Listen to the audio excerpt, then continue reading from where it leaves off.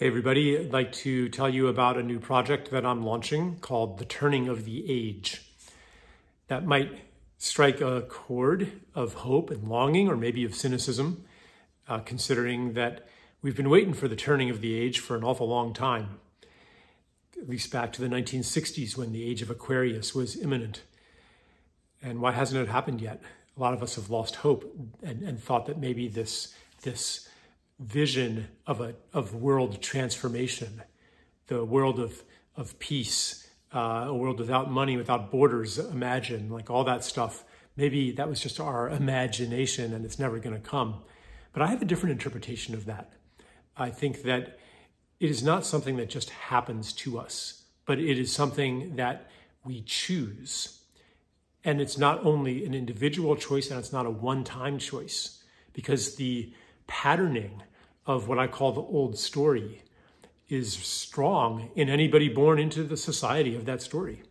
And so the, the, the series of choices that we have to make individually and collectively to move into a new story requires um, a, a catalyst. It requires community. It requires a mutual holding of each other in a new story and a shepherding of each other through the process of the breakdown of old stories, uh, the, the uh, period that I call the space between stories, where you just don't know what it all means anymore or even who you are anymore, and then an emergence of a new story.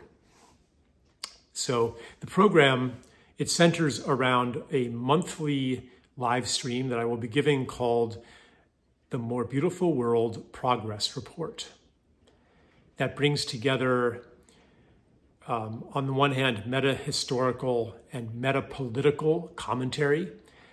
You know, not the usual stuff on current events, but but commenting them on them from uh, the perspective of this transition in our society's fundamental myths, its fundamental narratives.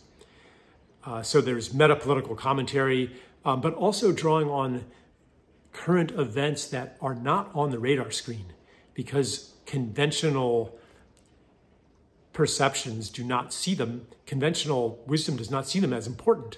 They don't make the news, but actually, they are some of the most important things happening. If there is any hope to be had at all, it definitely comes from outside officially narrated reality. It comes from the realms of the alternative alternative sciences and alternative medicine and alternative technologies. Uh, I call them the technologies of reunion. So I'll be bringing that in along with the more conventional current events and also stuff that I pick up from from psychics and channels, you know, and astrologers, um, the, the, the people who occupy realities a little bit outside consensus reality. Um, and also, here's another key piece of the More Beautiful World Progress Report it's the stories that I encounter, the people that I encounter who sometimes, and I, I can recognize these, they, they relate an experience to me that, that has that ring of this is a sign of the times. It gives insight into what's happening on this earth. And also, I'll bring in my you know, just my my what I get from the survey of my own my own evolution, my own inner landscape. I mean, I'm certainly not exempt from this initiatory process. And the live calls will also have, I'll also offer something to, to you know, not just observe what is happening, but also to participate and to prepare for participation. So that would be, you know, I would offer some kind of prayer or meditation in each of these sessions. And and then there'll also be a, a live streamed Q&A maybe a week or so after each of the More Beautiful World progress reports. The whole thing is hosted uh, co-hosted by me and my amazing, beautiful former wife, Patsy, and the team that she's put together over the last few years.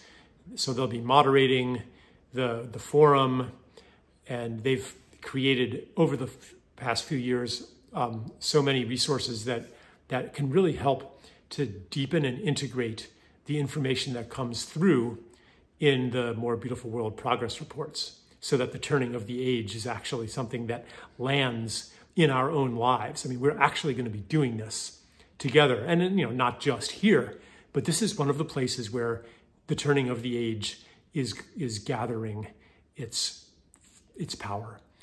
Um, so that we have, in addition to the discussion forum, we have regional groups, uh, some of them quite well established already from previous programs. We have special interest groups. Um, you know, that there's one on death. I think there's one on birth, parenting, parenting in the new story, things like that. There's um, um, we have uh, events, other events. Members create their own events. We have um, it's it's kind of a um, for some it's kind of an kind of an incubator where you can develop projects that that uh, you know in a network of people who share some of your values, you know, who are drawn to it because of the ideas that I have um, served and, and shared through through the work that I do. Um, yeah, so I'd love to see uh, lots of people subscribe to the to the program. It's going to be ongoing, you know, indefinitely, and I'm going to be putting a lot of my personal energy and presence into it. So yeah, I hope to see many of you there, and thank you for your your attention.